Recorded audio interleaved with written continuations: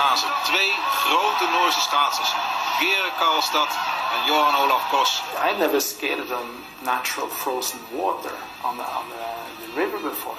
And when I was halfway, I had uh, cramps in both my thighs. So I was like, okay, I'm not sure how this is gonna, how I'm gonna finish this race. It was exceptionally hard.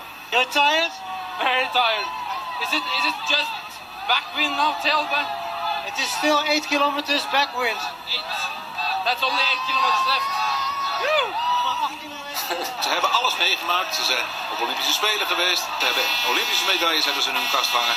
Ze hebben Tialf als een gekkenhuis ervaren. Dit is een streepje meer. It was much better than I expected it to be. Uh, the organization was fantastic. The people on the ice, the skaters, they were so friendly. Uh, but probably the biggest thing was the spectators and the, the atmosphere on, on the track all the way. Everywhere there was people, and they were always sharing and having fun and music and food and drinks. And probably the best atmosphere I ever had ever in a skating experience. Dit orkestje aan het oefenen wat ze straks gaan spelen als Johan Olaf Kos hier in Dokkum binnen gaat.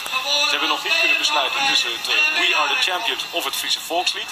I think the, my best experience was coming up to Dokkum and meeting must have been more than 100,000 people up in, this, in the village and turning around and they sharing in the music and the food.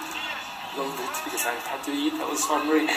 Johann Olav, we didn't hear you. What's in, what's in your backpack?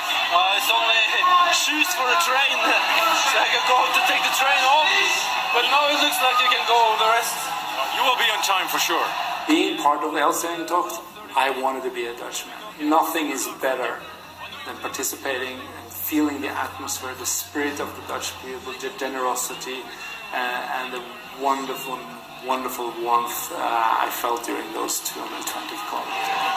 If it will be a new Tocht, I'll definitely be there. I'll come from anywhere in the world I am at that time. I'll fly and I'll participate in the race. There is nothing greater as a speed skating reward to participate in the Tocht.